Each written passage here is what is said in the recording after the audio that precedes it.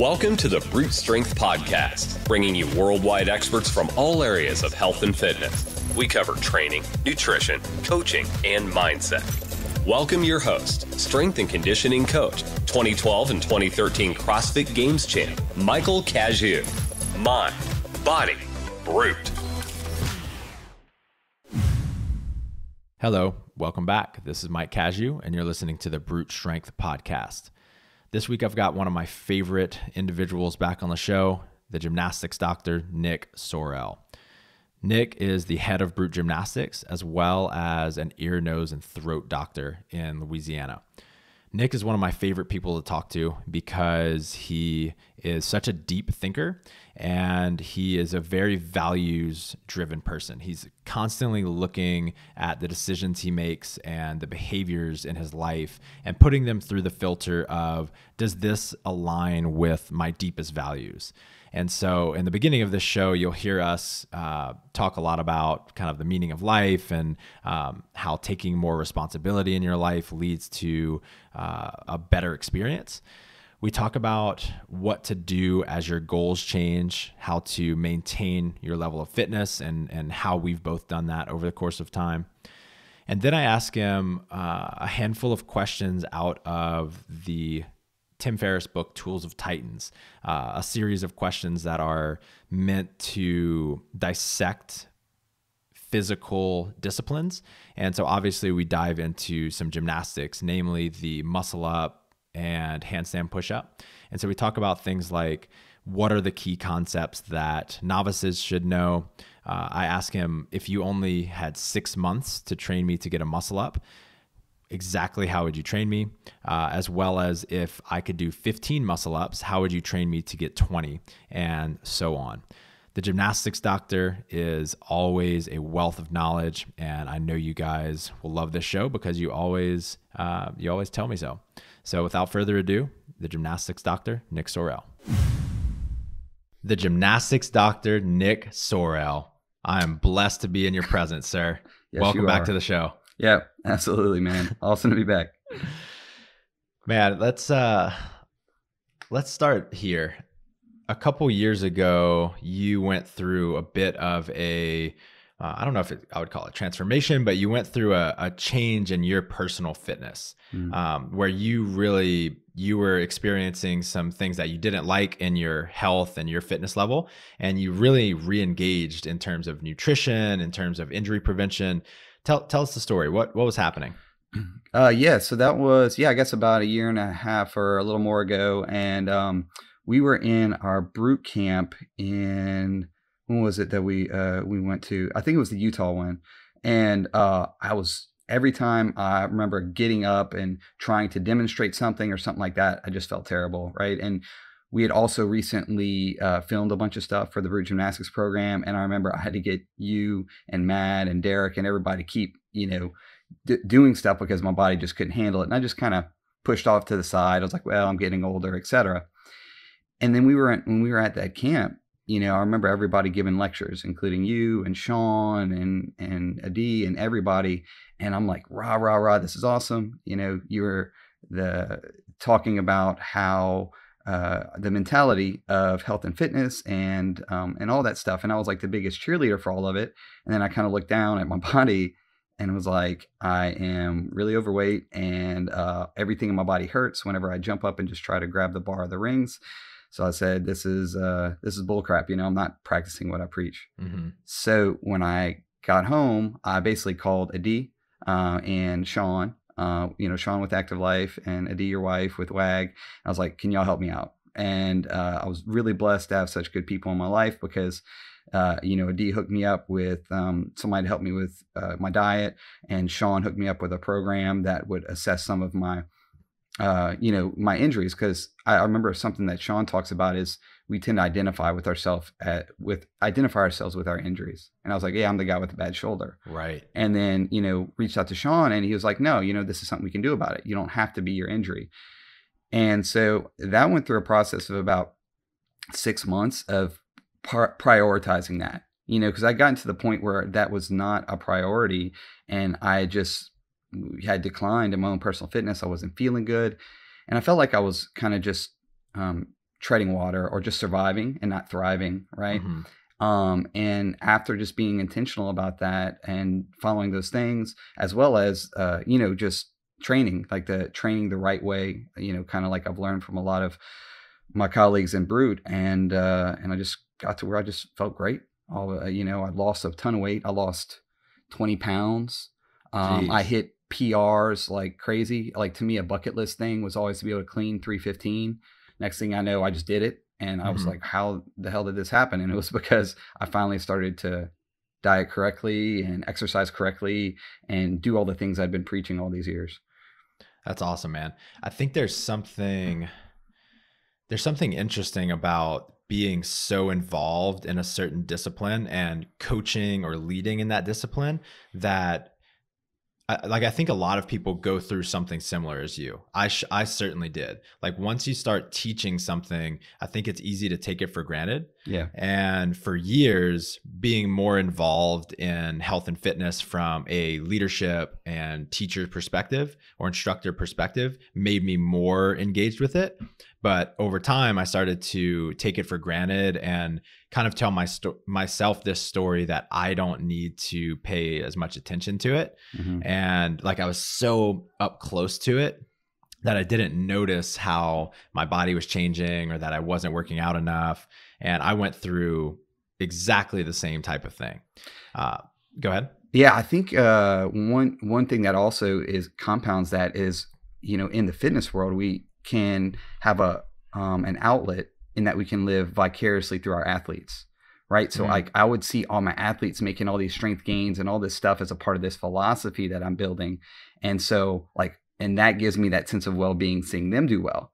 But then as time goes on if i'm putting all of that on the the athletes and getting all that then my then all of a sudden and i'm not paying attention to myself and i'm letting them you know reaping all those gains vicariously through them then i suffer for it I don't know if that makes sense. Oh, absolutely. That's a very interesting perspective. I think as human beings, we are in constant search of little dopamine hits, yeah. whether that be through caffeine, through ad, um, like acceptance from other people, through seeing our athletes get hit PRs themselves. Yeah. We're constantly looking for dopamine hits, and what often gives us those those hits and and keeps us motivated and uh, keeps us feeling alive is just feeling fit ourselves but that's that's an interesting perspective that if you're if you're getting those needs met uh, through other people then you could be telling yourself um, send your, sending yourself uh, uh, the message that you you really don't want. Yeah definitely man. Yeah i think about that a lot too. My wife and i we uh, our, our, little quote that we like to say is uh, life is more than a series of whims you know so mm-hmm. and that's that dopamine hit thing you know and i've seen that in a bunch of books. I remember i think uh, taleb talks about that in black swan and, and and you see it all over now but and people are becoming very cognizant of that you know and that's that whole emotion versus reason thing. Like if i can fulfill my daily emotions and saying i'm fulfilled in the moment it's like the picking up your phone right? That's the biggest thing that uh, or one of the biggest things we struggle with in this era is you get that little dopamine surge every time you pick up your phone. But if you really sat there and you thought about it and you're like is this really doing anything this little this action that i'm taking mm-hmm. is this mm-hmm. doing anything to move me towards something that is going to be true fulfillment for me you know right. and and so actually i started thinking about that too and and this is a part of that whole process is just doing that with my fitness has made me attuned to those other things so now i, I try to cognitively anytime before i take out my phone i say why am i taking out my phone like i will mentally tell myself is there a particular reason or am i doing it because it's controlling me because I need it or I'm addicted. Mm-hmm. And actually, and I remember you the last time we were, uh, where was it? Uh, in Austin at our Austin camp, and you were on your not eating sugar for a year thing. Was that mm-hmm. it? And mm-hmm. and I said, why are you doing that? And you're and you're just very plainly say because I want to prove that nothing can nothing can control me. Right. And I think that's a good exercise. And it doesn't have to be any particular thing, sugar, it can be whatever it can but that you go and you prove to yourself that this thing doesn't have control over me because i'm the master of my own emotions right dude i'm i'm so big on the technology piece have you do you know cal newport who wrote he, uh, he wrote deep work uh, i've heard of deep work uh, but I don't recognize that guy's name, and I haven't read so the piece. He that one's phenomenal. He also wrote Digital Minimalism, which just came out, and he talks all about the the basically the fact like the whole book starts out talking about how there are billions of dollars spent by tech companies such as Facebook and Apple and Google on making phones more addictive because right. they're all in the uh, attention game. If they can get more of your attention, then they can sell more ad space. And so it's not surprising that these things are just incredibly addictive and we pick it up something like, I don't know, maybe 86 times a day. I think we pick our phones up on average. I, I heard the statistic was four hours a day that people spend well, four. Right, but I'm just talking about a pickup. The, the time, right? but yeah, it's like up, yeah. hours each right. day, and and for younger kids, it's uh as I've heard as high as nine, and that's an average. That's unreal for a certain population. That's unreal. Like just not even looking at the world around you. That's crazy. So, if anything, you've just gotten busier now Yes. Now, what, where are you at with your your fitness and maintaining all of what you worked so hard for? Yeah, man. So, um, I yeah, I got to where, and, and it's a good. It's funny because if you look at it from outside looking in, you may say it's a bad thing. Like because essentially now I haven't been tracking in months. Like I've been tracking what I eat, and I haven't been working out as much. So outside looking in, you'd be like, oh, you know, he kind of fell off the cliff, right? But really, it was more of a, a matter of reprioritizing. Like I had to spend those hours and those reps, so to speak, on getting myself where I needed to be mentally and physically.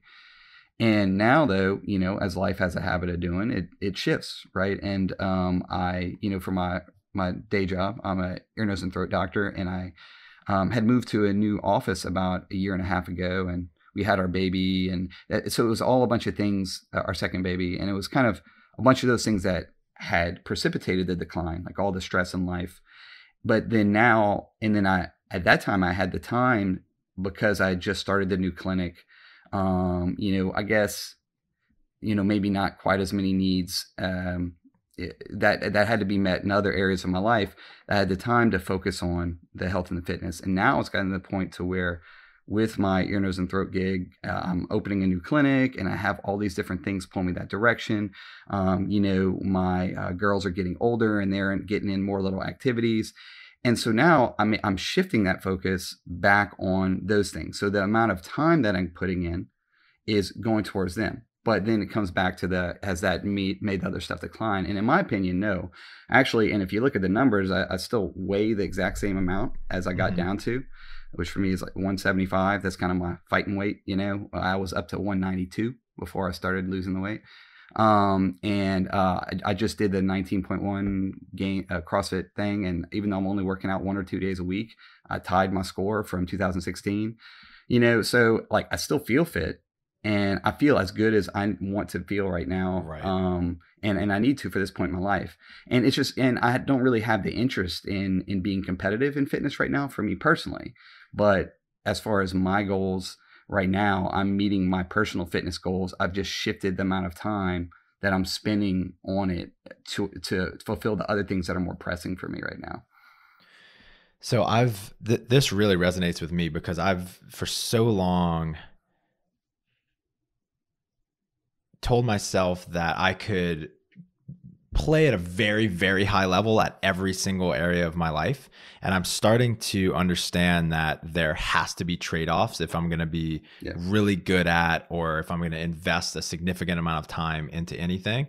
And this guy james clear who wrote atomic habits um, he he wrote a blog post recently that he called the four and he talked about this thing called the four the four burners effect uh, the four burners are our family life, our social life, our health, and our career.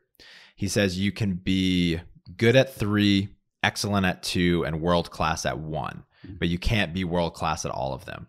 Yeah. And that you know that really hit home for me because I was trying to be world class at all of them, and obviously I'm not. uh, obviously I'm not but I, t- I told myself that I could be if I just figured out the the perfect system for it. Right. But his whole his whole thing is about like get clear about what you actually value most in your life and then if you're going to choose two things right say career and family which it sounds like that's what you're focused on right now what systems can you put in place for the others to at least maintain them? Yeah. Because you don't want to you don't want to let the light go completely out on that burner. Right. But you just want to maintain it at a, a low level while you go all in on, you know, one or two things. Yeah, man, that's so, dude. It's so interesting that you said that. It's that common human experience thing because that without reading, I didn't read that book, and that's exactly what I've been thinking on my own lately. You know, so basically, family and career, exactly like you said, um, has been really important to me right now. But then I've got you know also the brute thing, right, and my fitness thing, which are you know which are probably the other two biggest things for me. Um, and um, I've been working on ways that I can do that. So, you know, Derek, the other gymnastics guy, and I, we find a time early in the morning, waking up early in the morning to go and meet and work on uh, that stuff, uh, you know, once a week or a couple times a week to uh, fulfill that obligation. And then I just, the, the other thing is, is working out. I try to do it when I can, but I've learned that I had to create a system. And like you said, and for me, that system was essentially waking up earlier. So mm-hmm, I had to mm-hmm. decide for myself. Um, and I actually got this from a WAG post. I read that book, Perfect Day Formula, which is a pretty good book. Yeah. Uh, in terms of like being a, a rally call for that sort of thing. It's all stuff that you kind of know, but but you read it and it's like that motivation to do it, to actually enact it. And I got to where I started waking up earlier and uh, you know, and trying to fulfill those goals through that, like creating, like you said, a system to uh, to keep those other things going.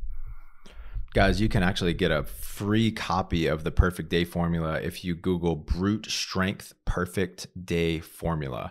Uh, I did a blog post with, Craig, or I did a podcast with Craig Ballantyne years ago, and he give he's been giving away free books to everyone that is interested. Um, where were we? Uh... I don't know, man. We haven't talked about any gymnastics or whatever, but we'll get there. Yeah, we'll get there. so I got lots Doc, of other things in the noggin, though, man. You you have so many incredible traits about you, but sure, there, there there are two that really have always stuck out to me that uh, I want to dive into. One is your methodical way of dissecting problems. Uh, you've turned in, I don't know, like 80 page spreadsheets at Brute before. Pretty much. Possibly more. Spreadsheeting um, is my spiritual gift. You're very, you're very organized, methodical in the way that you um, look at problems and the way you present things. And you're also one of the most principled men that I know. And you're always putting the decisions that you make in life through the filter of, is this in line with my values? Where do both of those things come from? Oh man, uh, uh, thank you very much. I appreciate that. That's, uh, I mean, two things that are very uh, um, complimentary, I guess, in terms of what people think about you. So thank you. But um, I, I, honestly, I, I think I, will always probably put first. You know, when per, when people will pose, uh, you know, or, or say something about my values and and my accomplishments, that that that I was the benefactor of really good mentors right? And uh, of you know, first starting with my family, and then you know other people in the educational system, and then being really lucky to have good friends, right? You know, friends that are going in all you know, not with a bunch of knuckleheads that don't have any goals or aspirations in life, you know, and you kind of all move forward. You know, for me, I was when my family was my family was very loving and caring family in terms of you can do whatever you want. And if I was flipping burgers, they'd be proud of me. But for me, it was that you know, not being successful was never an option, you know. Um, and so I guess that's just to say the values started at home, right? And mm-hmm. they started at home and then they grew as, you know, and then just to talk about the friend piece again, I've, a lot of my values have been, you know, um, molded just through even this late in life through meeting some of you guys, right? And, and seeing the kind of um, ways that your filters, like in the things that you run through and, and because we're always tinkering with them. And always envision it that we have like this tier of things. You know, I grew up in a Christian home and that's a set of values, you know, and whether you're Christian or not, we all need a set of values to say what right or wrong is because you can't find right or wrong under a microscope or in a test tube, right? Um, and so it's important for you to work out your own philosophy. But I had, you know, that philosophy as a baseline for me. Um, and then everything else is built. So you have these things like don't steal, don't cheat, be, you know, honest, be kind um, and uh, and those things are the main catch all like you, you everything goes through that filter first right and then everything else is is kind of smaller filters um that you know be successful but not at the, but then you know that being successful doesn't come at the expense of doing something that is, is your core philosophy right like i'm not mm-hmm. going to be successful at the expense of being unkind right. you know or um and uh and so that's grown over time but like i said fortunately i uh I think I had a very strong foundation. If you have a strong foundation, then you can figure the other stuff out as you go. And uh, again, that's been through other life experiences, including education and wonderful friends. Um, and then uh, as far as the organization and everything like that, I think that was just a product of that. Like I, to me, being a successful person, you know, was something that I just wanted to do. And, and you know, you now that's a big asterisk on that because how do you define success? I don't think you define success by the amount of money I make or the stuff that I have. But to me, it's wanting to be kind of the author of my own destiny uh, and say that if I want to give my family this opportunity, I'm going to do it. If I want to create, or say, for instance, with the the brute thing, if I want to create a program or do something that has an impact on other people, to me, that's successful. Like the money is wasn't as important for all that, right? Or with my, unfortunately, my jobs, you know, both with brute and with, uh, you know, being a doctor, are good conduits for that because I can define success by my outcomes with my patients. If I have a bunch mm-hmm. of people that are coming in, high fiving me, telling me they have a better quality of life, then I don't care what the paycheck says. Um, you know, and then as the as time has gone on, I've tried to re-solidify. So, and then when having kids, there, there's all these things were more of a vague thing in my head, right? Like be a good person and mm-hmm. filter that through Christian values.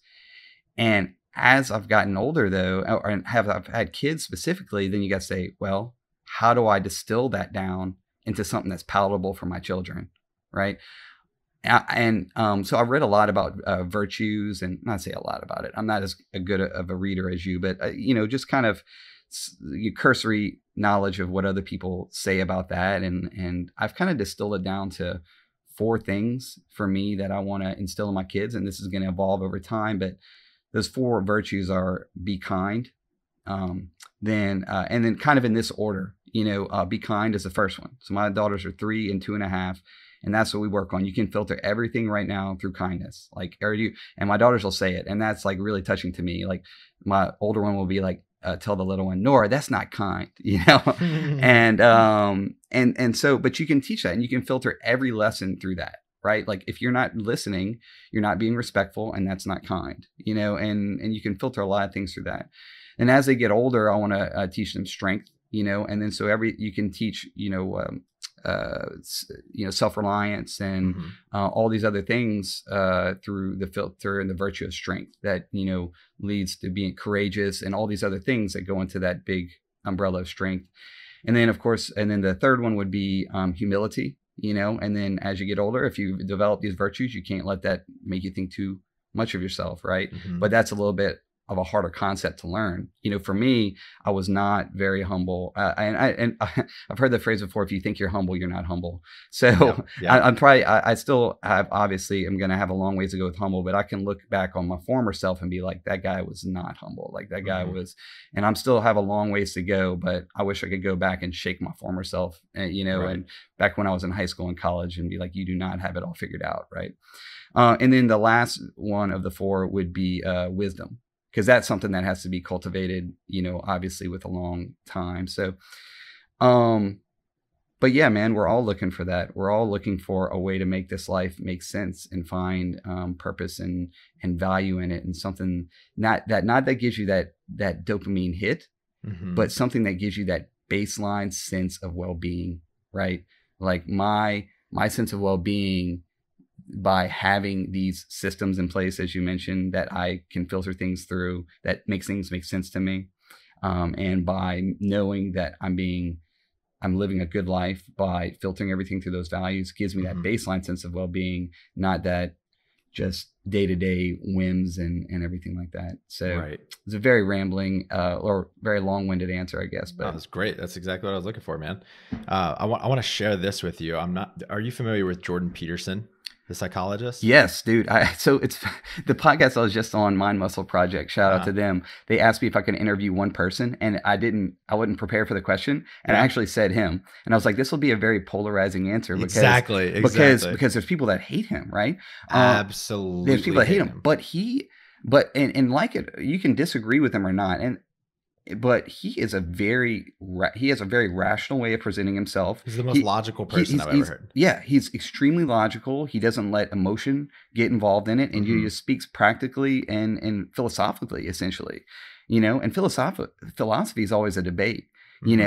know, um, and uh, it's like the um, what was that thing I heard on Art of Manliness a while back? It was they do it's this group where they go in and they read all the great books and they call it the Great Conversation. Mhm. And that's something that's fascinating to me how all these values that we have in us as people, we kind of take for granted as if they're innate. But if you'd have dropped us hundreds and hundreds of years ago or thousands of years ago, the way we process information would have been completely different, right? Because the environment that we're brought up in has been shaped by this great conversation that's been had by, uh, you know, Augusta de Hippo, or, or, or I'm- I'm saying their names wrong because I'm woefully ignorant and all these things. Uh, but I, I- but I'm fascinated by philosophy. I wish I had more time to delve into it. But and that's but that but that's a I'm, I'm stealing your uh, your question here. But that guy Jordan Peterson, to me, that's what's fascinating about him. He's like a modern day guy like that that's shaping the way that we think about it, shaping this great conversation. Right. Anyway, but yeah, but what were you I'm to say yeah, about I'm what were you to say ta- about him? I'm glad you're turned on to him, man. And he is polarizing, and uh, it's totally understanding. it- It's totally understandable why. However, I saw him speak live in San Antonio, and so he has this book, Twelve Rules of Life, which Yeah. was which has been one of the most popular books of this decade. It was on the Amazon bestseller list for something stupid like like 38 weeks, like longer than just about anything right. and the, his his presentation was about the 13th rule for life because in his original uh, i think he started the rules for life on a quora um, forum at, at one point and he wrote out like 50 of them and he just put the best 12 Gotcha. in the book but his 13th is that uh, opportunity lies where responsibility is abdicated so where people are are not taking responsibility mm-hmm. in the world that's where the most opportunity lies Right. and so he has this big thing about the the degree to which you will find life meaningful is directly correlated to the amount of responsibility you take in life. The more responsibility you take in life, the more meaningful your life is going to feel. And this is how he breaks it down. It's fucking so good. So, we have to first take responsibility for ourselves. We have to make our bed. We have to take care of our health. Um, we have to do things that are going to lead to us just being safe and healthy and happy, right? Mhm. But that's not enough. We in order for us to have the best life possible, we also have to treat uh, we also have to take responsibility for others because the way that we treat others will dictate how we are then treated. And so if we are selfish, self-centered and don't take responsibility for others' well-being, then they're gonna they are going to make our lives um, less enjoyable, and it's gonna it's going to take away from us having uh, the, the ideal life, Mhm. right? So we have to take care of ourselves in the present. We also have to take care of others in the present. But that's not enough because we also like what what is best for me right now is not necessarily the best for future me. Mhm. It's not the Yeah. best for me in a week, the best for me in a year, etc. So just eating pizza might be the the best thing For me right in this moment, but it's not the best for me tomorrow when I wake up and I have, you know, I'm a little sensitive to gluten or something like that or dairy and I wake up and have a shitty day. So he says we also have to take responsibility for ourselves in the future, whether Mm. that be a week, a year, 10 years. But that's not enough. And this is the last one, and I'm, and I'm done. That's not enough. We That's also have to take responsibility for others in the future because the way, like, there, was the amount of responsibility we take for others in the future has an impact on our lives in the future. Right. So every decision that we make in the present has to take all four of those into account. We have to take care of ourselves and others in the present and our future selves and other people people's future selves in the present. Right. So most people are stuck maybe in that first quadrant, maybe a little bit in the second as well. Right. But the more that we can make decisions out of what is the best for me and other people now and in the future, just makes life meaningful.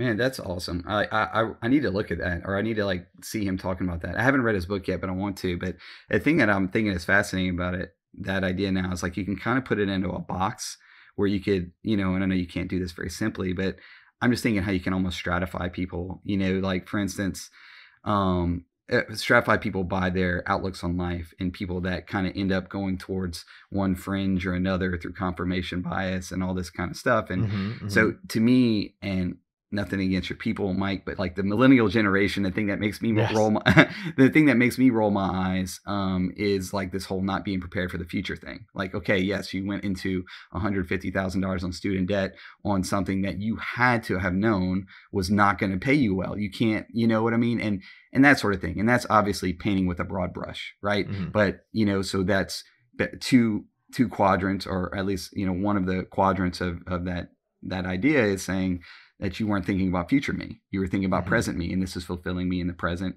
And you weren't filtering that through that. And then you got other people that are on the whole other end. And I'm pretty libertarian, but then like the complete libertarian people, like the whole Anne, Anne Rand or however you say her name, Atlas Ayn Shrugged. Rand. Ayn, Yeah. Ayn Rand. I never knew how to say it. I read, uh, yeah. Um, but uh, you know, it- which is like the virtue of selfishness, right? But and, and I agree with a lot of the stuff about the the self reliance and the um, the uh, you know libertarianism of of being able to uh, you know fend for yourself and from that then. But I do not think it's a good thing to be selfish. I think if you go all in on that philosophy, I think most people are going to be woefully unhappy. And if the whole world lived like that, the whole world would definitely be woefully Mhm. unhappy, right? And so that takes away those two quadrants of thinking about others as well, right? So you think so.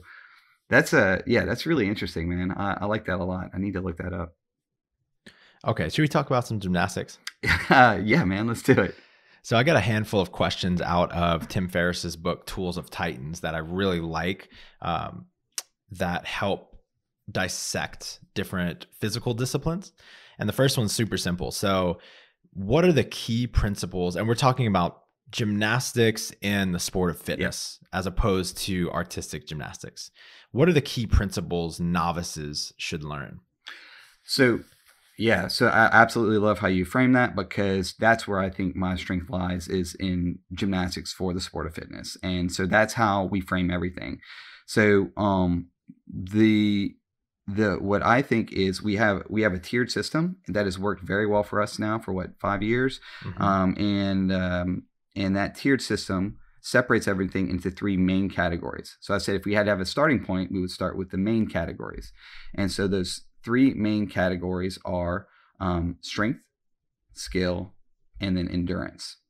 Now, for me, whenever I'm training athletes, I'm not in a lot of ways training them directly for endurance, right? But if you're going to be in the sport of fitness, you have to keep in mind that at all times because you can't just train your strength and um, uh, and your skill and leave that on on the back burner. You know, especially if you want to be a highly competent, you're a high level athlete, which is something that in brute we have to think about a lot. You know, I remember. Um, yeah, a lot of instances with our higher level athletes, you're, you know, they're asking me, Nick, should I be doing my basics and stuff like that? And the answer is usually yes, but for a lot of them, at certain points in their, uh, you know, in the in the season, the answer is no.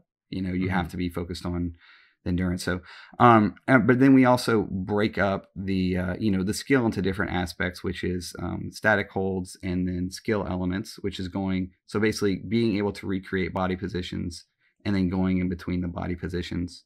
And then the strength is you, the main principle I would tell you is with the strength is sometimes you just have to get stronger.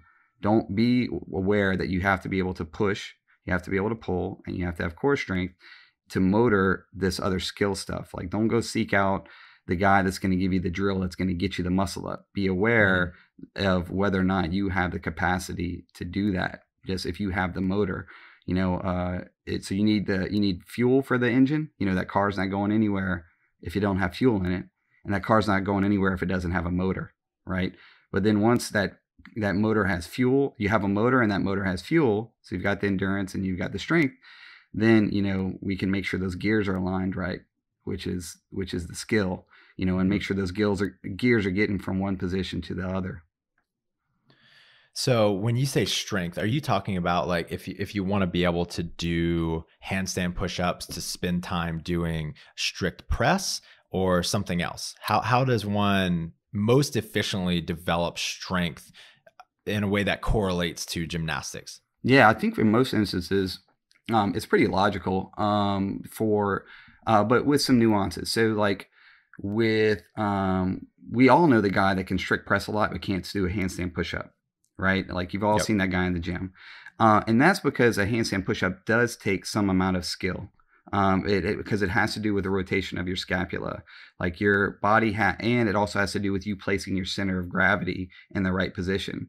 So the same way, you know, there is a skill to doing a strict press, and that skill, the first thing they teach you is to pull your head back, right, so that you can push the weight above your feet, which is your base of support, which essentially keeps the center of mass that you're moving over your base of support. So you pull your head back and then you press, right? So that is a skill. It's a very low level skill, but it is a skill.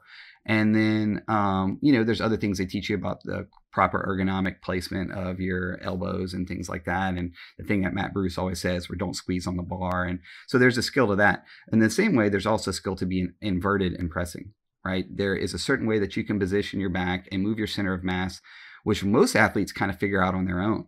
Mm-hmm. Uh, a lot of guys they kind of figured it out the same way. If I you didn't have to listen to a podcast on a strict press or go to a level one cert to learn how to press. We're smart people, and as, as humans, and our body figures out what was incorrect and what was correct about it. Mm-hmm. Um, but that that that would could take us all the way back to talking about the basics and why the basics are important because you tend to be more prepared if you train body positions to recognize those efficiencies and inefficiencies and replicate and replicate what works and avoid what didn't if you if you do the basics but um, so that's that you know that's the little piece about handstand push-ups and you can do that by um, you know box handstand push-ups are my favorite thing you know um, doing a handstand push-up on a box.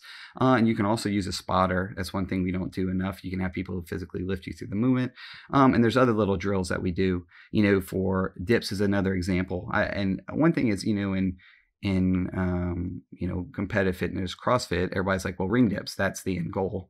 You know that's not really the end goal unless you want to compete in crossfit. The end goal is being able to do upright pushing right? And then the rings just add a different variable to that. So mm-hmm. you don't have to just do ring dips. You can get you some very rigid supports and press on that, and it's going to be easier, right? Uh, and be help you load the movement more because you can physically do more because it takes the way of the variable of the um, the support swaying and making it harder.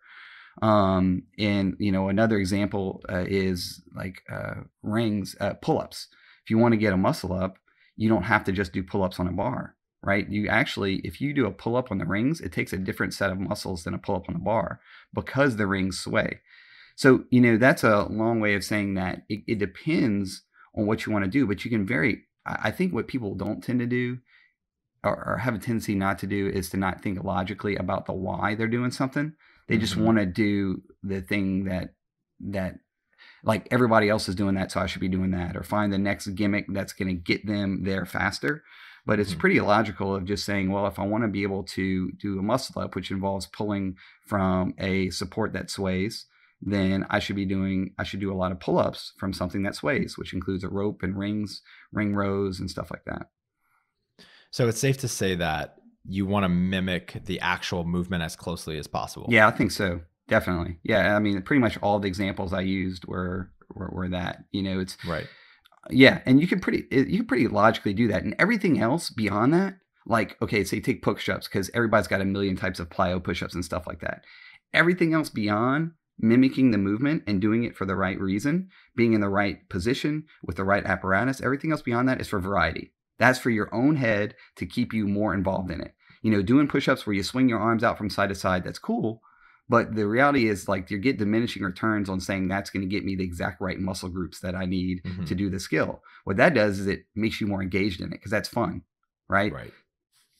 But let's be clear about what that purpose is, right? Yeah, exactly. So rather than thinking it, it directly correlates. Yeah. So I'm doing today. My purpose is to do prone pushing because prone pushing is important for the sport of fitness, right? So, I mean, that's push ups.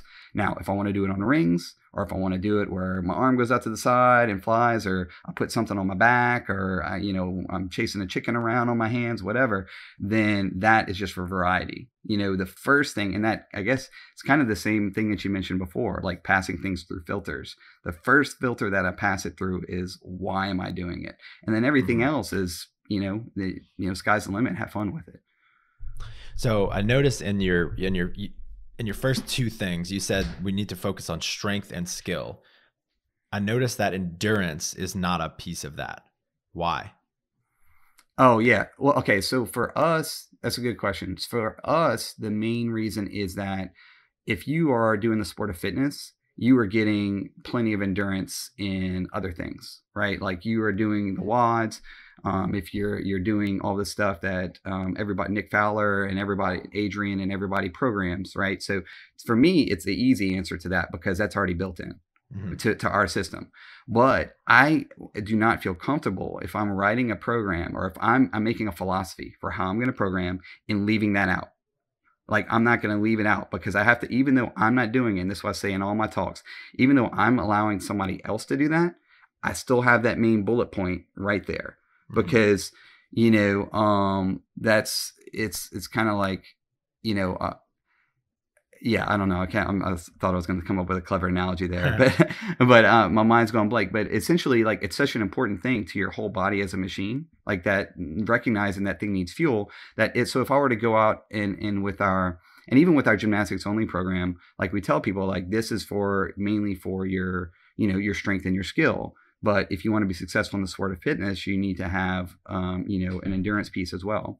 Now, for local muscle endurance, you know, whenever we're writing um, specific progressions, we do take in some of those philosophies that, you mm-hmm. know, uh, and I've learned a lot of this from guys like Henshaw and Fowler and them on how to do adaptive training, you know, using intensity and volume cycles um, to to to uh, most effectively increase our local muscle endurance, which is mm-hmm. what I'm mainly dealing with. That I want to do a lot of pull ups, right? Or I want to be able to do a lot of muscle ups before my arms give out. But you know, the specific training that we do, and it doesn't mean that you can do a lot of muscle ups plus a lot of rowing plus a lot of because that's going to be your whole VO2 max and all the other limiting factors, as well as the fascinating aspect of what you deal with, which is uh, which one of your things is the um, the mental aspect, right? Like, mm-hmm. and if you read a lot of these guys that are ultra marathoners, they talk about the the mental aspect of it, right? And the mental aspect. So I actually, when I talk about endurance, you know, in under that umbrella, endurance is also the mental aspect of it. Like, what are you willing? Because your body's not going to die, right? You're just your body's telling you that it wants to die and you need to stop. But the reality right. is, for most of the time, you could keep going right and and so there's a whole bunch of other areas to being successful in fitness that fall up under that umbrella that even though i'm working with you on strength and skill we have to always keep that in our mind that if you really want to be successful in competitive fitness that's important too right, right. just you doing eh, like uh, you know me me giving you good muscle up tricks right and making your muscle ups a little bit more efficient isn't going to mean that you're going to go and win the muscle up WOD at regionals or, or, or, what used to be regional, the games or Wodapalooza right. or whatever, right? You have to focus on these other things as well. I do I do fully agree with leaving endurance out of the initial conversation though, especially with uh, especially when we're talking about things with such a high level of te- technical difficulty. Um, you know, a muscle up, a handstand push up, handstand walking, all of those require so much attention to detail and technique that if you're like you should be focusing on just one perfect rep before you focus on doing five. Yeah, right? no, absolutely. Yeah, man, and that actually, and that comes also into like the season too. So, and that's why I have guys that are way more, way smarter than me. Uh, it's easy to be smarter than me at that, at like periodization and stuff, right? Like, mm-hmm. so Fowler, that was the first. Actually, we were coming up with a um a way to like categorize and all of our exercises, everything we do, like can we archive these things like a Dewey Decimal System for fitness? Mm-hmm. And the first, and I asked Fowler, the what's the first thing that you would think of? He says, what part of the season you were in, and that would have been the last thing that I would have Right. thought of, right? I would have thought, okay, is it gymnastics, endurance, or, or, you know, that would have been my first filter. But his first filter is what part of the season you're in. And Mhm. along with that, if you're the average competitive fitness person and you're not thinking about the season and what you're going to Wodapalooza or whatever it is, then you're thinking about what part in in my fitness career am I in? Am I at the part where I want to build skill, or am I at the point where because we only have a certain amount of hours in the day, right? Mhm. You know, um, eh, or am I at the point where I am have my skill adequate enough to start working on the endurance aspect of it? But you're Mhm. absolutely right. You're not going to go and try to walk hundred yards on your hands before you can walk two yards correctly. Right, exactly. You're not going to try to go, well, you shouldn't try and go just get it done hmm because you're the anytime like the higher the higher the level of technique required for a certain skill, um, the more important this is that you create good movement patterns. Yeah. So there, you know, there's one one way to walk which is perfect, and you might only be be able to walk five yards, but a lot of people might be able to walk hundred yards in ten minutes.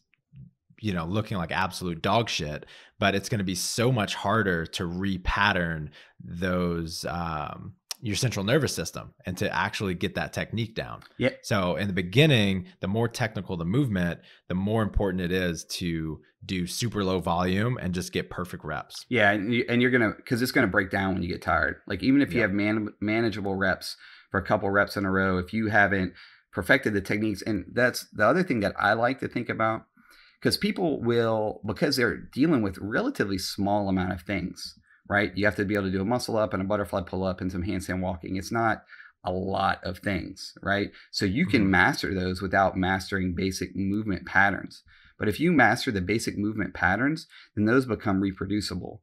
So for me, and that's why I like teaching people things in terms of like, okay, say for a butterfly pull up, I am rather than tell people to pop their hips or do their knees a certain way, I like to teach in terms of um, go from a hollow to an arch faster. And basically taking those movement patterns, and if we know what a hollow feels like, and you know what an arch feels like, and you know what a straight arm pull down on the bar looks like, and then you know what a bent arm pull into the bar feels like, then your body and you do those movement patterns over and over and over again, then you have it has a way of your body feels weird when it's not in that position. So you will mm-hmm. notice it. So and then that is something that doesn't you don't really lose whenever you're tired. So whenever your body is breaking down, you still remember what that feels like. The same way you still remember what it feels like to f- standing upright on your feet. You tell yourself to get back up again. You know, you re- remember what it feels like to be in those different positions, and so that's kind of why I went into uh, that philosophy on the way that I on the way that I coach. This one might be another little tool for your for your tool chest. Um, there's a guy. I think this is who said it. There's a there's a coach in jujitsu named John Danaher. He he's a very controversial coach, but he he coached uh, George St. Pierre, and he talks about the importance of defining positions as clearly as possible. Because if you can clearly articulate in your head what position you are in what position uh, they are in then you you can just see more of the options for yourself. And i think i think what you're talking about is is kind of similar. Like the more an athlete understands and has the language for what position they're in Mhm. their their oppor- their options become more uh, abundant right they see the different positions they can make with their body what you know some like you have this this thing in mu- with muscle ups where you teach people four or five different styles of muscle ups for different levels of fatigue or different Right. types of workouts once they have the language for those those positions and those types of muscle ups it just gives them more options in workouts Yeah, then it's easy. Then all they are is the exact same thing. It's those exact same components and just mixing and matching them. And, and the mm-hmm. more you think about it, you think of any any high level sport in which those things don't exist. In baseball, whenever you're playing shortstop, you're in the ready position the exact same way every time, right? Mhm. Whenever you're about to, whenever you know, although guys change their swings all the time, whenever they, whenever they're in a pattern of swinging a certain way, they always start in the same position, and they can generally feel how well they swung by how they end up, right? And so you're going from one known position to another known position, and then the guts in between it happen more or less automatically, right? And mm-hmm. then, um, you know, football and eh, basically anything you we always start with these defined positions and then because everything else happens so fast like the dynamic portion in between it you practice it but then you know knowing and defining things in terms of known and reproducible positions is probably one of the most valuable things you can learn to do as a coach uh, and, an, and an athlete i think. What are the biggest mistakes or myths you see in gymnastics training and what are the biggest wastes of time uh let's see. Um that's a tough one. Um, I think we touched on one of them, which is like doing something for the sake of it being clever, um, and like a clever drill because you saw it on Instagram, and trying to you know clever your way into something rather than do the due diligence of uh, working your motor and working your skill, like making sure that you're comfortable and know that position, and making sure you're strong enough to get in and out of it. Um, you know that that's that's one of the biggest things. Um, the uh, I have, I have yeah. something to throw your way on. Yeah, go one. ahead. Uh, at times, people have given us some flack for using such a wide range of accessory movements when we're teaching yeah. something like the muscle up. Right. And some people will just say, if you want to do more muscle ups, just do more muscle ups. Right. right? Why? Like, how does that relate to what you just said, which is not I forget the word you use, but don't fancy it up. Yeah, like we're using a lot of accessory movements, yeah. but we're not. How are we not fancying it up? Yeah, it's well the the main reason is because um because we're doing it for a reason, right? So um everything that we do is is not it's if I would if the accessories we would be giving would be going through that filter of it just of, of it just being clever, like, hey, here's a clever muscle up drill as filler, then yes, that would be a 100% valid point. But the way that we do it is if I'm doing something, if I'm programming something for an athlete, it's because a part of the muscle up is being able to go from a straight arm hang to the top of a pull up. And then also being able to rock your center of gravity into a position where your shoulders go from behind the rings to in front of the rings. Those are two components. So the same way that you know you a part of a snatch is being able to go from mid thigh to the you know to the hip and then to overhead then snatching from blocks is a very valid training exercise in order to become more efficient at that. You know you might as well say why why don't you just snatch more? Just do more snatches. Why are you doing all these quote unquote accessories?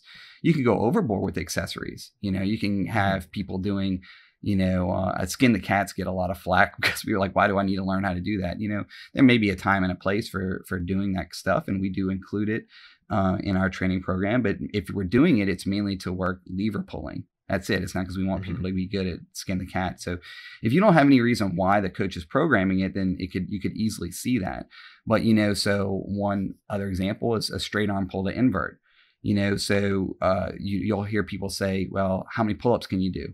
whenever somebody's asking if they can do a bar muscle up. That's an absolute wrong question biomechanically because the bent arm pulling piece that you can't pull through the bar. You can't. So uh, the bent arm pulling is a much lesser component of a bar muscle up than straight arm pulling. So the question should be, can you jump up to the bar and pull yourself upside down three to five times in a row? That's the better question. You know, mm-hmm. so you may look at somebody doing a tuck pull to invert and be like, that's a gymnastics move. No, it's not. We're doing it, well, it may be, but we're doing it in this instance because we're trying to work um, our straight arm pulling strength, right? Um, and and instead, you know, the other, so I guess that would lead me into the other thing that I saw. Um, and this is something that I promised myself I wouldn't do whenever um, I got the gig as a gymnastics coach for for Brute. Is I promised myself I wouldn't just give people a cue or something without knowing why or knowing what it mm-hmm. meant you know and that goes to the all the any number of things that you hear and you regurgitate because we have this thing as coaches where we want to say something like we don't want an athlete to ask us a question and not have anything to give him back. So every time we want to be like okay no head through the window. No this time more uh, hip hop or or whatever any number of cues or you're broken at the midline or whatever that means you know? And so and so there's art these these arbitrary things that we throw out but you can really make things make sense if you with a very basic knowledge of physics and a very basic knowledge of ergonomics and human movement patterns make things make sense in our physical world and just and then you you know, and then that can you just look at the movement and say what does not make sense from a functional standpoint, from a physics standpoint, and then what body positions can I get the person to get into in order to fix that problem. Love it. What are other mistakes, myths, or wastes of time? Uh, let's see, cilantro. That's a waste Don't of time. Don't you say that. Uh, no, I love cilantro. I know. I hate, I'm one of those people that hate it. Um, uh, Does it taste like soap to yeah, you or something like? yes. You're, I'm you're one of those people. guys. yeah, and, Yeah. yeah, and I like to complain about it. Um, no, I don't know. Like um, some other ma- waste of time in gymnastics, uh, specifically for fitness. Um, man, I don't know. That's a tough one. I think I would have to narrow it narrow it down more because most of the things come under those those big umbrellas. You know Mhm. that that I think the things that we've already discussed. I'm not sure. Um, I'm not really sure anything else off the top of my head. That's okay. Yeah, we can You can't you can't know something else to everything about everything. Right, right. I'm a, I'm a work in progress, Mike. Uh, What are the most common? Let let let's let's get a little more specific here and let's talk about the muscle up. mhm. So, what are the common mistakes being made even at the professional level? Oh yeah. Okay. So that's a good one. So I mean, I've I've put posts about this uh, a whole bunch um, on on the internet and stuff, and I don't know if it's a contentious point, but um, about the whole pulling to the hips thing. So the the thing is, is that at the elite level, um, guys will uh, they pull the only way to pull the rings is in the direction that the straps are running and when you're in a front swing so your feet are in front of you and your shoulders are coming behind you, your feet are rotating backwards. You have to stop your backwards rotation and convert that to a forwards rotation. All right. So the only way to do that is to provide an equal and opposite for or equal force backwards that's enough to convert that backwards angular momentum into a forward um, or upward force. So if you pull the rings directly to your hips, you're pulling the rings to your center of gravity. Um, and if something is uh, the point of resistance or the fulcrum is at the center of mass, no rotation can happen from a physics standpoint, period. So if you immediately pull your rings to your hips, you lose the tension on the rings and your um, uh, uh, and you won't rotate. So, but what happens is people will see a very high level athlete pull really, really fast and really hard backwards. Okay. But they don't see that part because it happens really fast. And then they come up and they catch the rings by their hips. They're like, that's what I got to do. I want to get those rings up by my hips. And so then it's perpetuated this thing where people say pull to the hips. But, you know, a high level athlete or somebody that knows how to do a muscle up, they don't even realize they're doing it. It happened with, um, I don't, if, I don't know if I know him well enough to put him on the spot here, but I guess I'll just say it. Noah Ohlsen came down one time and uh, he's a really nice guy. And uh, he, he, was showing me some of his muscle ups. He said the same thing. I've always been told pull to the hips. And then I videoed it and I showed him. I was like, look, this is where you pull backwards. He pulls backwards, but he does it because he's so strong, so hard, and so fast that the rings then come forward and he catches them by his hip, by the hips. Um, so, um, and the so that's something that uh, higher level athletes may come out like whenever they're fatigued. If that cue is in their head, they may miss reps because they think that's what they're doing, right? But that's that's the wrong cue. Um, the other thing that I see higher level athletes doing is I think I want to muscle up, um, not uh, getting in a bad pushing position. So they'll tend to uh, whenever they're pressing out of the dip, they tend to arch, which to me is not uh, as favorable of a pushing position. Um, that yeah, that's something that we worked and uh, with um, with uh, Brent Fikowski on. Brent Brent's an awesome athlete, man. He's a really really good dude. Um, and he, and at first he was kind of like, why why are we doing you know, uh, but not saying questioning, uh, but he was questioning because he's very intellectual, right? He's like, Mhm. okay, yeah, I didn't realize that that would be an issue, and then we got him to where he would keep his body in a more hollow position while he's pressing, um, and then he started feeling a lot better in his press out on the dips. Um, and so that's a very small detail that for a very, very fit guy doesn't play a role until you're extremely tired.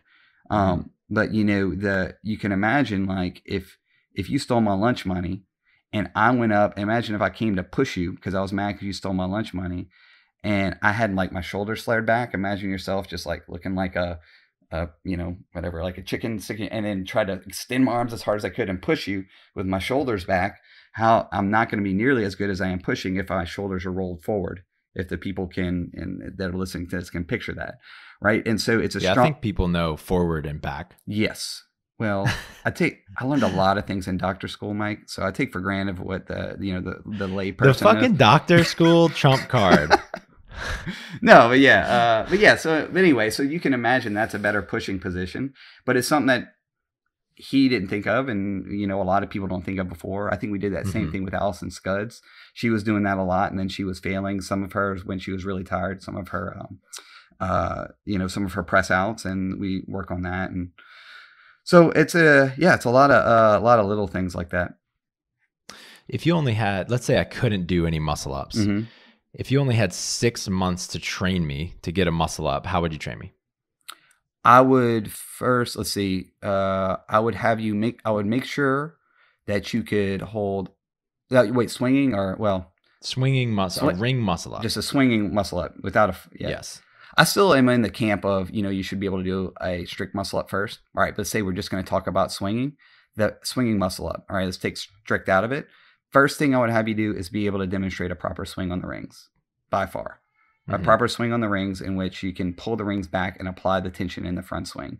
So if you can't do that and you do what everybody tends to do and you let the rings come forward, then you're just rotating backwards and you're doing a, a backflip and you can do that thing. Uh, uh, that uh, like remember Jacob Hutton's first muscle up that he sent me where he picked his knees up. We, we got on a text chain about this. I don't day. know. I It was a long time ago. He like he kicked his knees way up in the air and then he Uh-huh. was like flipped, tried to flip all the way forward, and it was Mhm. righteous and awesome.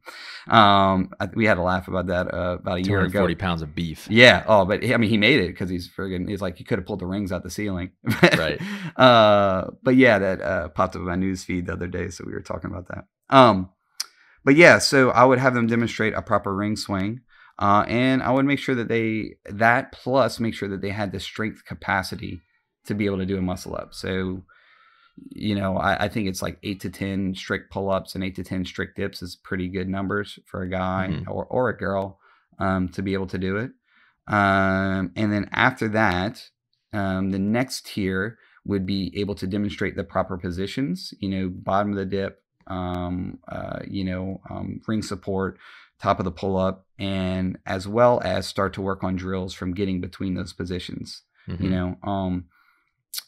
Yeah, so it would kind of be a tiered thing, which plug our new muscle up program that we're coming out with that we'll be launching hopefully soon uh, has all those things it's uh, five different programs that takes you all the way from not being able to do a muscle up at all to building the strength to do the muscle up then building the skill to do the muscle up then advanced techniques then elite capacity and all that stuff Yeah, yeah, that'll be available soon. It's at brutestrengthtraining.com backslash muscle up. Imagine that.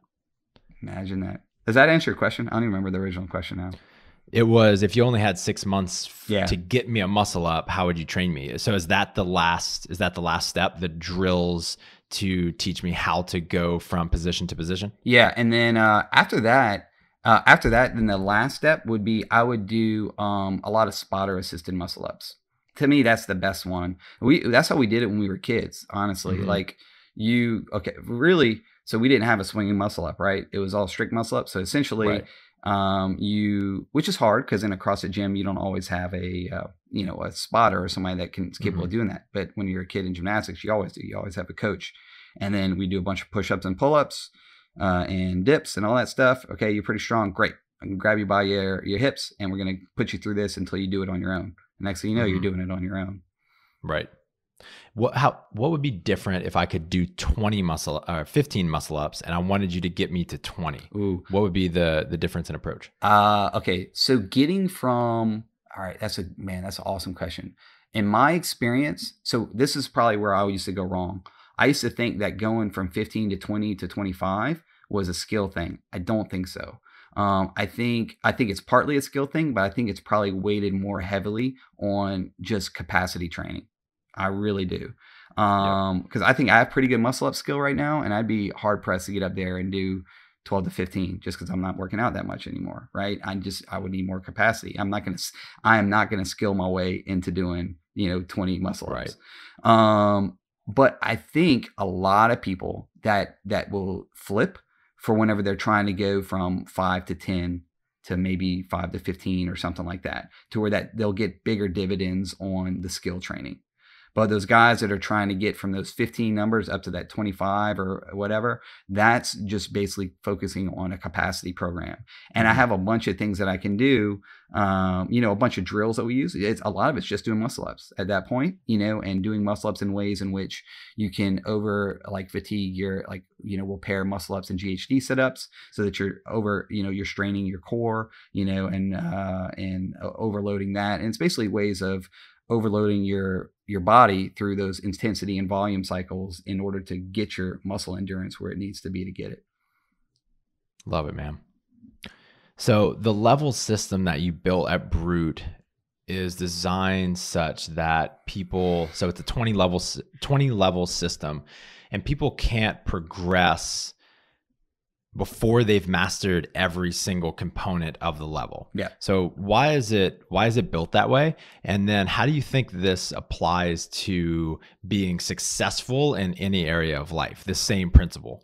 Yeah, um because it's it's just it's rational. You know what I mean? It's it's rational that you wouldn't want to do all right. So just take a very specific example. You don't before you slam your whole weight on your cervical spine doing a handstand push-up, you'd like to be able to think that you could do a headstand, right? And so it's you know a logical progression, and it helps us avoid it. It, it go to go back to your previous thing we talked about. It makes you think about future me, right? Mhm, So mhm. present me wants to do a handstand push-up right now because it's awesome and everybody in the class is doing it and I want to do it in that workout. That's great.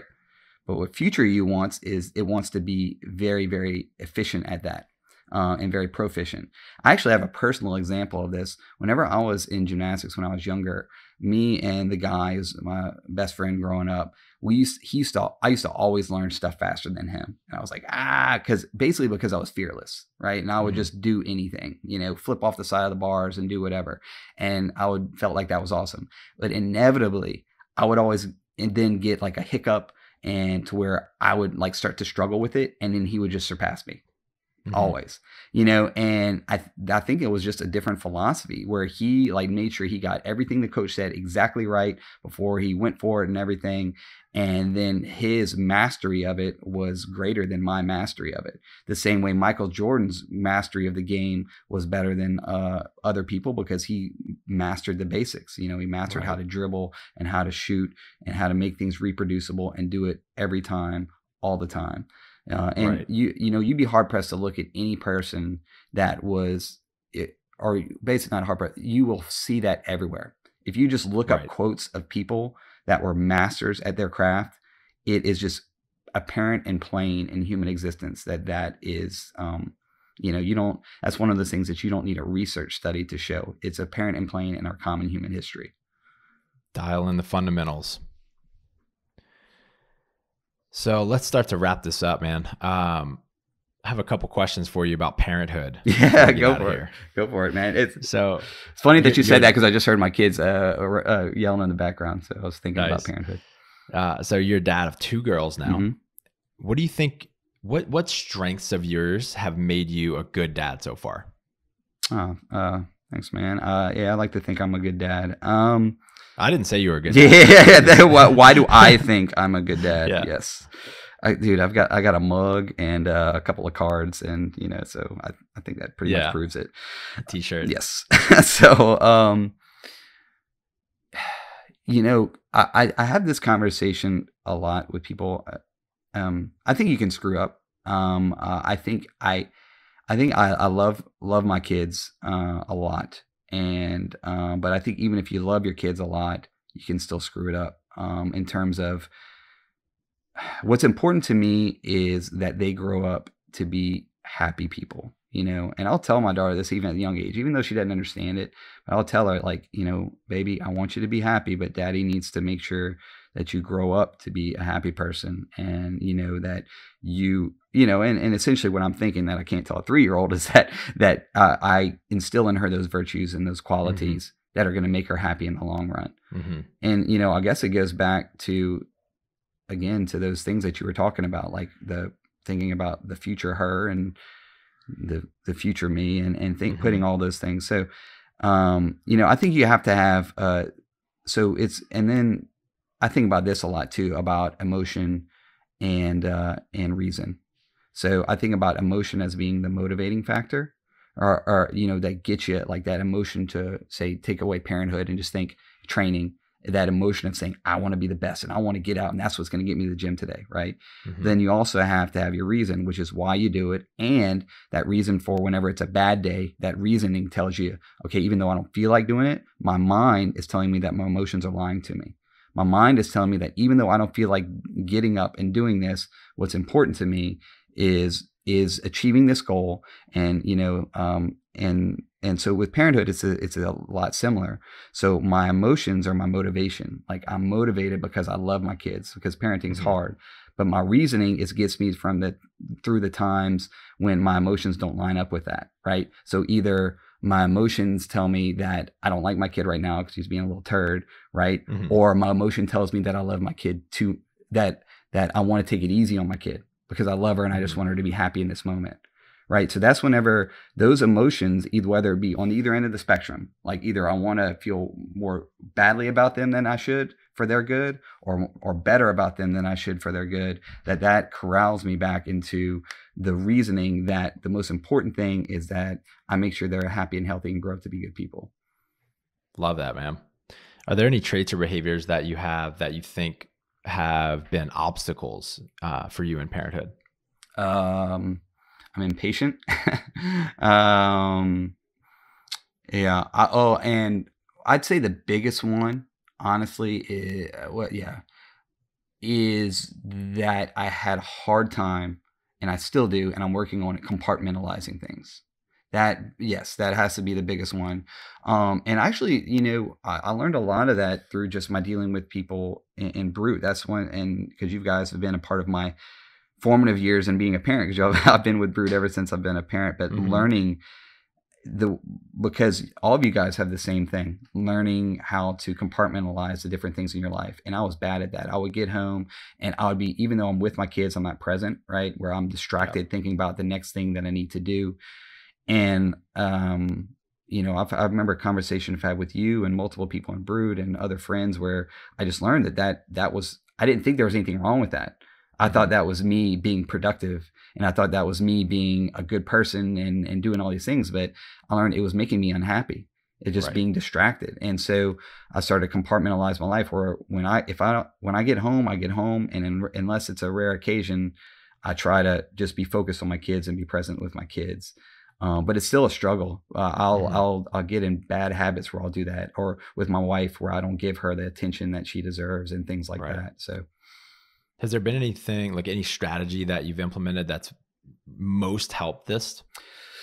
Uh, really, it um, uh, the first thing would be be aware of it. You know, which is what mm-hmm, I mentioned before mm-hmm. about the cell phone thing. Like when I feel myself being want, wanting to get distracted, being mindful of why.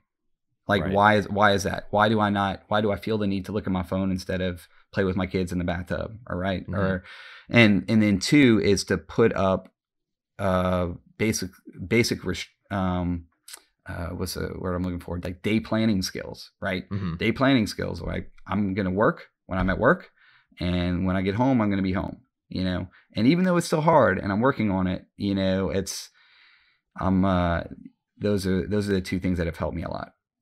That's huge, man. Yeah, and really putting I, I find putting boundaries for myself around technology is as silly as it seems, just having rules like no phones in the bedroom, no phones at the table ever, um, they just allow me to be present mm. in those moments, right? Rather than just leaving it up to my willpower or leaving it to be like a decision that I have to make over and over and over and over. I just make the decision once and then I never have to deal with it. Yeah, I like that a lot. And that's what that guy talked about in the um, perfect day formula. That mm-hmm. one thing that stuck out with me was the example he gave about rules. And people are like, why would you have a rule that's that's limiting? But the reality is, like, say if you're pregnant, you would have a rule that you do not drink when you're pregnant, right? And that's right. like a non-negotiable right. rule. That was one of the examples he used. But we because we all have non-negotiable rules all the time. It is a non-negotiable rule that I do not steal you know so why can i not have another non-negotiable rule that i through my reasoning says is good for my life. No matter what my Right. emotions tell me at the time, my reasoning says that this is good for my life. Um, I haven't been as good as I want to be at implementing those rules, but I 100% get the value of them. Well, sweet, brother. This has been great.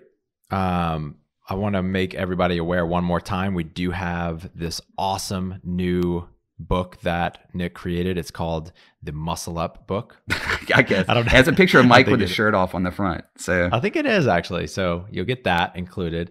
Um, tell tell tell us a little bit about this book. Um, so it's uh, it basically takes what I was saying before. Um, it takes you from the basics of not knowing anything about a muscle up. Like you could have never walked into a gym before, uh, and you can start, and it would take you on the path where you go through step one, where you basically start building the strength to to get to the point to where you can then start working on the skill, as we kind of alluded to Mhm. earlier. Now, this is whenever you, you phrased the question earlier was saying doing a swinging muscle up first, which implies kind of somebody that's already been in a gym for a while and already has some capacity and strength. So Mhm. for this book, we're taking it from the step of step one is as if you've never walked into a gym before. Right. So for that, we're starting off with the strength. We're building a motor before we put a car around it. Mhm. Right. Um, and then um, then the next step would be um, skill. So you start to work on the different skill elements that would get you towards getting an actual strict muscle up. Now, this is all doesn't mean that you have to go in this. You know, if you buy the book, you can use it. You may be at a different level, and we have some suggestions in there for who can use who how you can use it for your particular training program. Mhm. but you know and so because the next step is a swinging muscle up. So that's the swinging skill. Then the next step would be um, advanced techniques. So you know you can see how you kind of work your way from somebody that's been in the gym never been in the gym to somebody that's been in the gym for a little while but you know wants to work on the skill to somebody that's already competitive and wants to be more competitive. And then the very last step is the elite capacity Mhm. um, so, and that goes back to that piece we talk about of really training that volume and intensity. Uh, and then throughout all that, there's uh, visual guides, videos, um, general hilarity, um, action and adventure, and uh, all kinds of stuff. But no, it's it's uh, there's pearls and pitfalls that tell you about common techniques that will show you on Mhm. pictures some of the things that we mentioned about um, you know the muscle ups and and like I said, I try to make sure that everything in there is is a why. You know, there's there you can see that the rationale behind it is clear and apparent. And I think even if you're a coach, it would make you a better coach. Like I think without a doubt. it- without a doubt. I think if you just by reading through that, it'll help you in those moments where your athlete asks you, like, what am I doing wrong? And it will help you either wisely not say anything and be like, you just need more time. Okay. Because vitamin T is a good um, prescription a lot of times. Sometimes you just need more time. You don't have to change something every time. Um, or whether or not there's an actionable thing that you can reason into, uh, you know, telling them to do. Hmm Yeah, one thing I love about it is that you teach very high level principles. So if if a coach reads this book, they'll understand high level principles about muscle ups, but they'll then immediately be able to apply that to different mo- movement patterns. So it's a it's just a great general source of educate like gymnastics education for people as well. You can get that at brutestrengthtraining.com backslash muscle up. Nick, where can they find you and keep up with you personally, man? Uh, I do. Uh, my Instagram is the main conduit for my. Uh, you know, I, I post stuff on there from. Uh, it's uh, Coach Nick Sorrel. Uh, I think that's my handle, right? Two R's, two L's, No, uh, two R's, one L. one L. Yeah, it's a yeah running joke with all my friends that I get aggravated that put, people put two L's on my names. So that's how it is on like all the wedding programs that I'm on and everything. right? Amazing. Yeah, my friends- Amazing. My friends are awesome. Uh, and then uh, and then other than that through Brute, you know what I tell people is, you know, I don't. I, I love doing what I do because I do it with Brute. Right? If Brute ceased to exist. I'm, I'm probably wouldn't do it, but mainly just because it like I enjoy doing this with those people. So you know, if you want to get with me and get coaching and stuff like that, you know, uh, brutestrengthtraining.com. That's the way to find me. Hell yeah, man. Thank you so much for your time, Nick. You got it. Love you. Hey, if you're interested in getting better at gymnastics, you want to get your first pull up, you want to get more pull ups, you want to get your first muscle up, you want to do more muscle ups, you just want to get better at gymnastics, we have an awesome video series for you. So, our gymnastics doctor, Nick Sorrel, created a three part video series where he covers program design. So the first video is on program design, and this is how we program for our athletes. And, and he teaches it in a way that makes it immediately useful to you in getting better at gymnastics. He goes over what he calls the big eight. So these are the highest yield exercises that if you do nothing else with your gymnastics skill sessions, if you do these eight, this will get you the majority of the results that you're looking for. And finally, he did, he goes over something he calls the capacity formula. And this is a way to assess yourself and find your weak points, your your biggest weaknesses in your gymnastics skill level. And he talks about how to use that information in a way that can help you grow and improve your skills and capacity in gymnastics as quickly as possible. And this is a free video series that we offer, and you can get access to it by going to brutestrengthtraining.com backslash GSL. brutestrengthtraining.com backslash GSL. So it's a three part video series. He covers program design, the big eight, and the capacity formula. Hope you enjoy. This episode is finished, but your training journey continues. Head over to brutestrengthtraining.com slash SSW and grab your free pack of 32 accessory workouts that you can incorporate into your training and start improving your strength immediately. That's brutestrengthtraining.com slash SSW.